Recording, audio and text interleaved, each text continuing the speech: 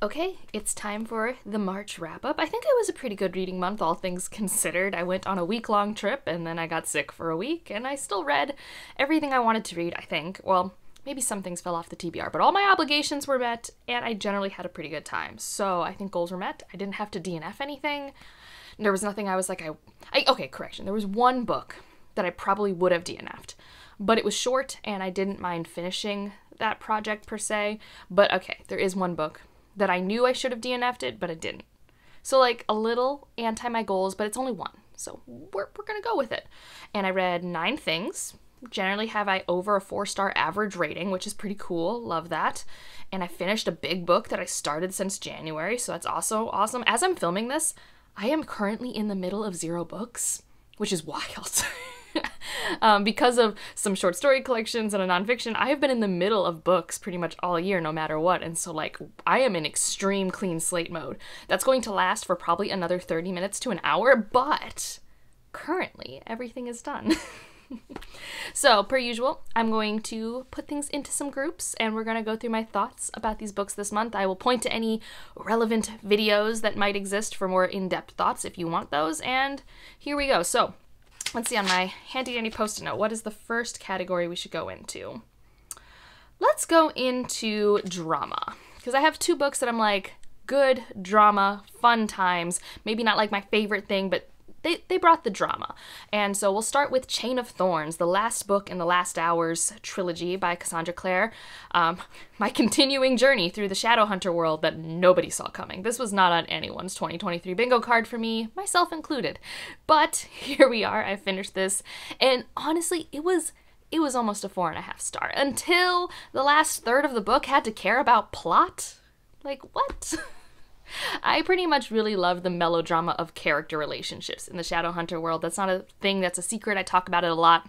And I thought for the first two thirds of this book, the way we handled all of our character interactions and relationships, the ones that have tension, the one that were finally maybe going to come together, I was having a lot of fun with all of our pairings. And then we kind of got to a point where all the pairings were settled. And then I still had like 150 pages left of the book. And I just, her plots are, they don't do it for me. I think they would do it for me if I was watching them, like if this was a TV show. But as it stood, I was very bored and had nothing to do while reading the last part of this book. I was like on a plane. And so, yeah, that the end of the book is why it's not a four and a half star. But I'm also used to this in Cassandra Clare books, so it wasn't like disappointing for me or anything. It's like, yeah, per usual, I like the second to last book more. Here we are. The other one is Golden Son, which there is a live show on Alex Nieves' channel. The um, giveaway is still open for that. It's open everyone internationally and everything. Go check out that video in the pinned comment for information on how to enter. Um, and so Golden Son, this was this was a fascinating reread experience because I read these three books in such quick succession. I don't know what happens in the middle. I can't remember. It was five years ago. And then, you know, I come onto BookTube like three years ago and people talk about Red Rising. It's really popular. And people are always like, well, if you don't like Red Rising, get to Golden Son. Golden Son's the good one. And I that was just literally not my experience, but again, it all blended together. And so now rereading, being like, okay, I'm reading the good one. and for me, it's not as fun. Um, I give this four stars. I give Red Rising four and a half stars. And I think it's because that Golden Son's plot is so chaotic. Intentionally so. Like, I don't necessarily think that's a bad thing, except it just made it harder for me to feel grounded and want to keep going, if that makes sense, because you just couldn't breathe every two or three chapters a big thing happens and you just don't get to settle and especially now that i'm older i like settling in my books when i'm reading i want to be able to sit down, settle, sink into things. I do love when things twist and turn. That's hence this is in the drama section of this wrap up, but this was a little a lot for me and my tastes. Um, so it's just really interesting that this one that I don't think is as tight plot wise, and I still think it has all the characterization flaws that I have with the first book, is the one people really like significantly more. Like, for people who like Golden Son, I think it's just a completely different reading experience than Red Rising. But for me, they're comparable, and I like Red Rising's more formulaic, comfortable plot narrative device more for some reason. I don't know. So, yeah, we have a live show where we go in depth and like, you know, they grill me about why I don't like it as much. Not really. It's a really fun conversation if you want to check it out. But these were my two drama books.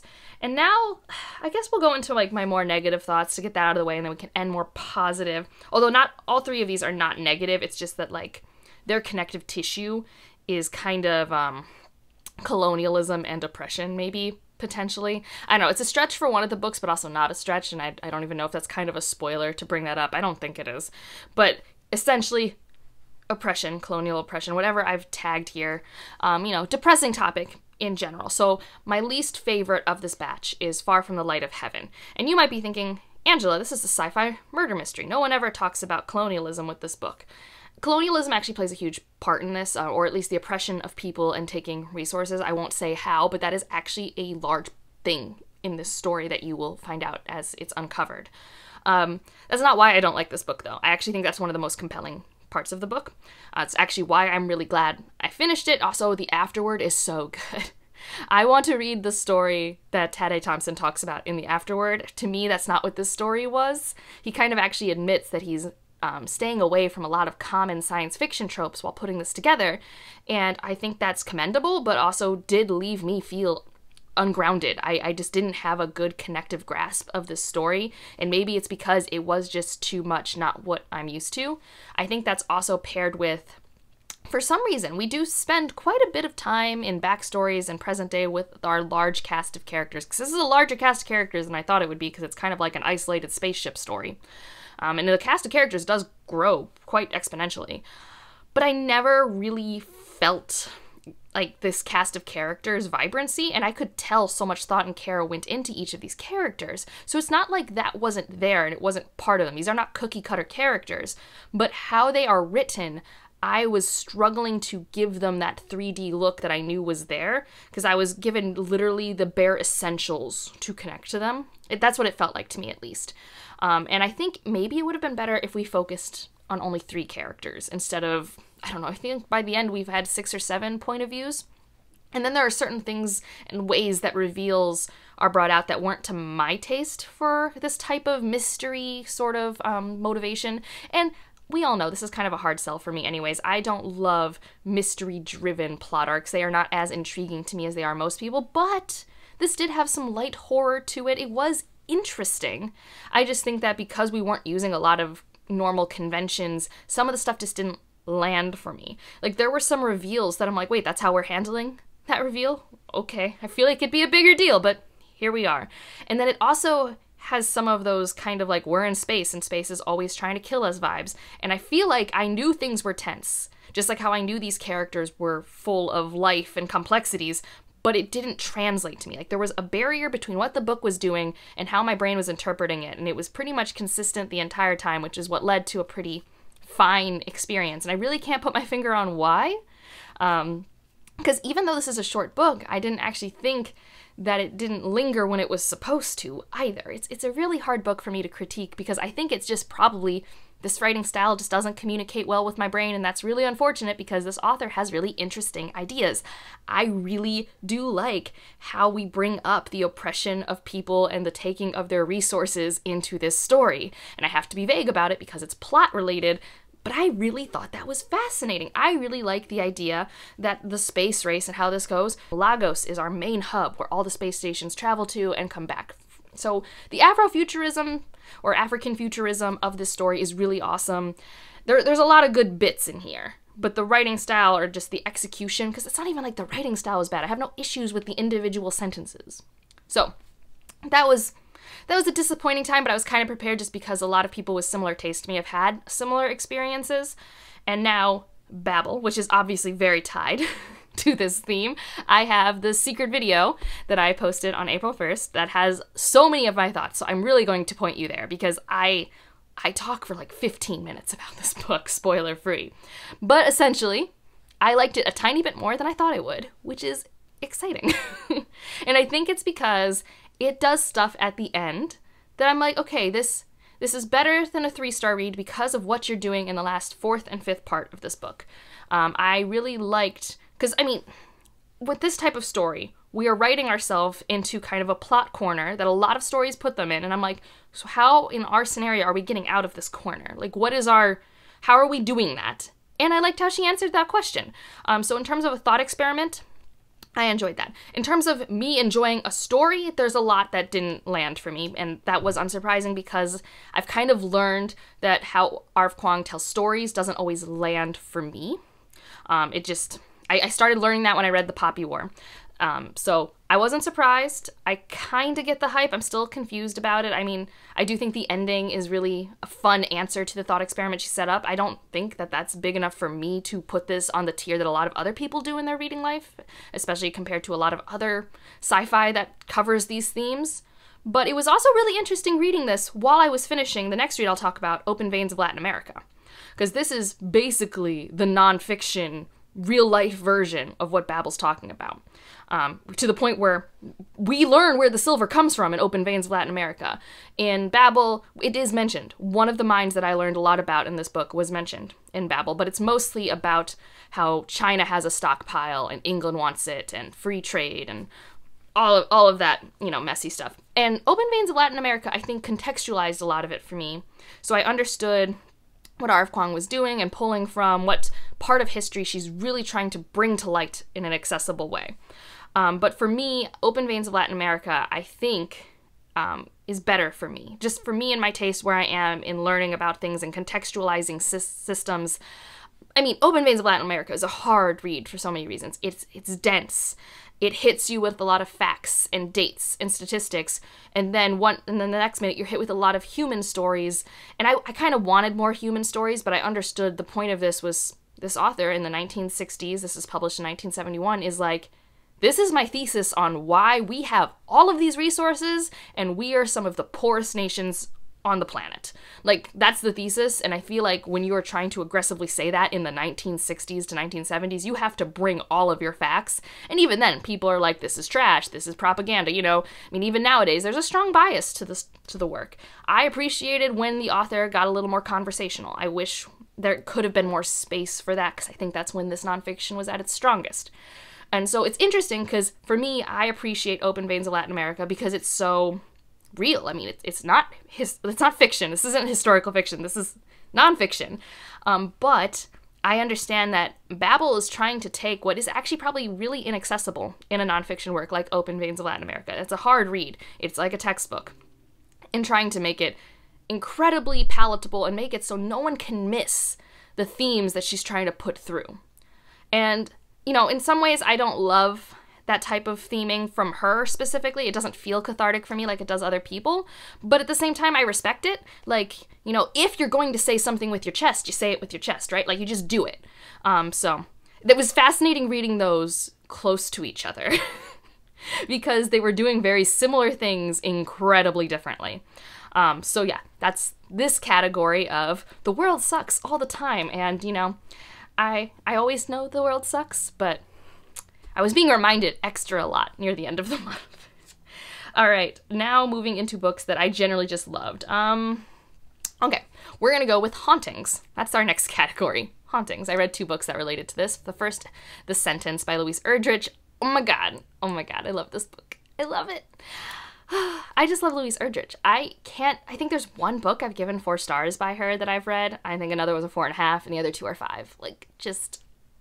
I love her books. My favorite books of this year have not been speculative. I mean, this technically has, like I said, a haunting, but do not read this if you want a ghost story, because that's really not what it is. It's actually, um, I think, Louise Erdrich processing 2020.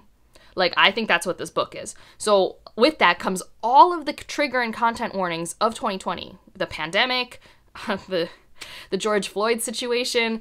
All of that is in this book because we are taking place in the town where that incident happens. Um, we have a bookstore that our main character works at after she has get, gotten out of prison after I want to say a decade she was in prison for, which gets explained in the first chapter why she was put in prison, and she works at a bookstore and it's about her life in this community and who she is as a person and her complex relationship with her mother. And in all of that, you see her processing the end of 2019 into 2020 and her own family relationships. And there is this haunting of their most annoying customer. She passes away and still comes to the store as a ghost. And that is definitely a part of the story. But I wouldn't say that's the main part. And like, all I can say is, once again, the sense of community and place is what I love. It's what I come for, I felt like I was reading someone's life in a really interesting way. I just I was so engaged while I read this. I was on a plane at like seven in the morning, which you know, when you have to be on a plane at seven in the morning, you've woken up at like, depending on how far away the airport is, maybe four, maybe four thirty in the morning. I was awake for a long time, and I didn't take a nap. I just read this book until we landed, and I couldn't put it down because even though, is it plot driven?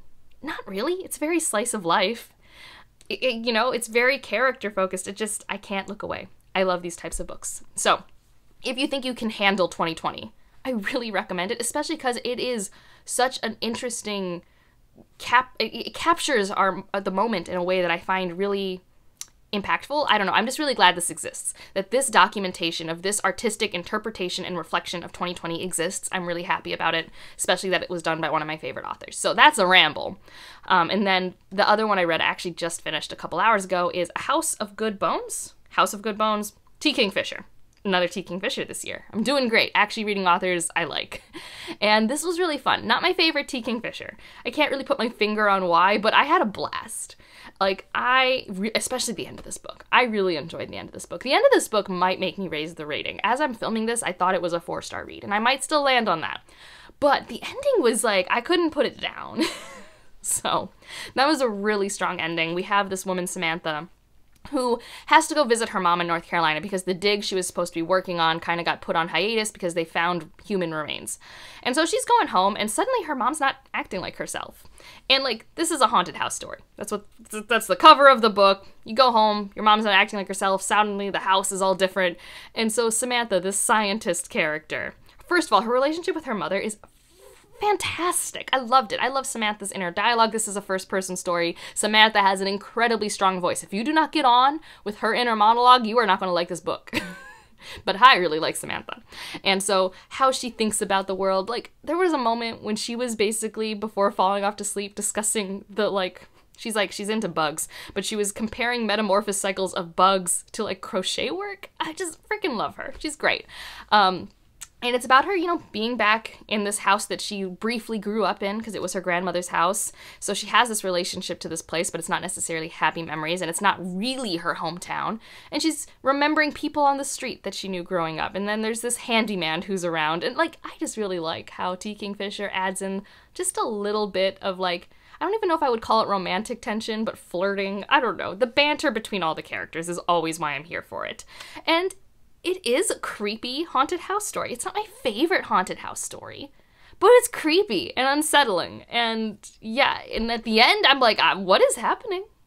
So, and also, I don't think before this book I would have ever really thought vultures were cute.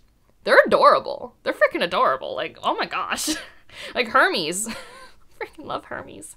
So, again, this brought me a lot of joy. I really enjoyed it. So, it probably should be a four and a half star now that I'm just like, rambling about it. We'll see. We'll see if editing Angela agrees after some more time has passed. Because, like I said, I just finished it like two hours ago. But super fun new release. If you like T. Kingfisher, I think you're gonna like this. It it has her voice. Like that's that you know if you read authors for their voice and their uniqueness that they bring based off that, T. Kingfisher, man. Now our last category is. I'm just gonna call it the fixing the boat trope, even though neither of these have boats in them. uh, anyways, these are also two books that I read while I was sick, and they were lovely. Um, first, we'll talk about Elantris. This was my reread, well, one of my rereads of the month. I also read Golden Son, and I was reading this, and you know, it's my fourth time reading it. I got really um, nostalgic about it, and also was focusing on things a little differently. And the thing I kind of latched onto this time was the focusing on systems and communities and what you do for the common person, because I think that's actually something Elantris digs into more than I remember. Like, not a lot. Again, don't go to Sanderson for like intense theme work because that's really not where he shines. But for me, I really loved watching Elantris, like the city itself and the community being built again. That's always been one of my favorite parts. Um, when you're in Elantris with one of our characters who gets thrown in, you see how they are forced to live, and then you get to see them fighting against that new, like that old status quo of just you deal with it. Life sucks in Elantris, you know, like, but fighting against that and what is built out of that, I really love. I still love Sarene. I'll never not love Sarene. She is a formative character for me. And then Hrathen, every time, you know, when I first read Hrathen, I'm like, I'm bored. Every time I'm in his perspective. When I was a kid, I'm like, Hrathen, boring. Get me back to Sarene and Raoden Nope. And, and as an adult, every time I'm like, he's an interesting character. Um, so yeah, and even though it's like watching a movie I've seen 20 times because I just know the plot beats. I always have a fantastic time. We are having, or already have had, a live show about this on my channel with Roger and Stephanie and Jesse. And I'll have a link to that down below if you want to see our spoiler thoughts. Because there's also some, I'm sure we, I, I'm filming this before that conversation's happened, but it was also really interesting being like, man, the groundwork for the Cosmere and how all of the magic systems kind of, they're different, but have this underpinning mechanistic glue I, am excited to unpack that. So that's Elantris. And then the last book we'll talk about is Legends and Lattes, which, I mean, we're building a coffee shop, so that's definitely, we're, we're building something from the ground up. And I read this in a day, like I talked about in my secret project video, so I'll point you to that, because again, I talked about this book for like seven minutes over there. Um, but this was a blast. This was one that I was really happy that I am, with the popular opinion, this was delightful. I was really nervous that I wouldn't be on this side of it. I, I was I don't want to be the person who doesn't like the cozy warm hug of a book. I really don't want that type of title. And I do like it. So that was really great. Um, mainly because, like I said, it is that trope of everyone coming together to build something in a community. And I think part of it is that it is truly fantasy. like, obviously in little circles of localism things like that happen in the real world but i feel like in the real world i am more always bombarded with how much things don't work how hard it is to have something grow organically and be in a healthy community. And so i love reading about it because it truly is to me incredibly fantastical. At least it feels like that more and more each day unfortunately. Can't you tell i finished open veins of latin america yesterday? I am still oof that book. Oof all right, that's this video. What did you read? What were your highlights, lowlights? And if you want to just leave an emoji to let me know you are here. Ooh, I don't know. Leave. There's probably not a vulture, right? Like, I really want a vulture. But I guess I'll take a bird or a house for a house of good bones. House with good bones. You know, the new T. Kingfisher. Emoji inspired by that book cover, whichever country you're in. And otherwise, like if you liked it, subscribe if you want to, and I'll see you in the next one. Bye.